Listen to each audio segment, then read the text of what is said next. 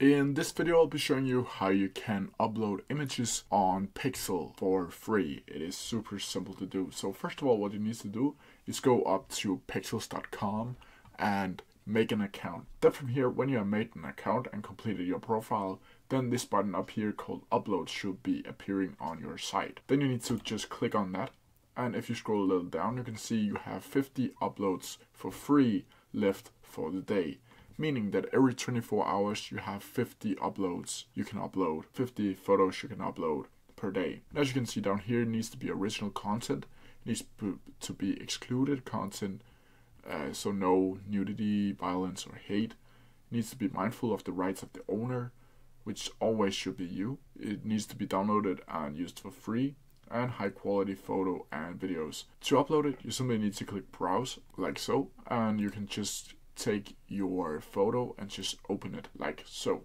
Then from here, this page should be popping up where you can select the title, which is apparently optional. You need to enter the tags and for each tag you need to select it with a comma. Then from here, this is optional, but you can also choose in the location if you want to do that. And you can select the challenges which is also optional. Then from here, you can either get a new picture or you can go up here and click submit your content. And if you do that, you need to please confirm you only uploaded photo and videos that you own the copyrights to and that you created yourself. Uh, any depicted people or photos or ownerships or depicted property gave you permission to publish these photos and videos. And then you need to click off I understand and agree and submit new content.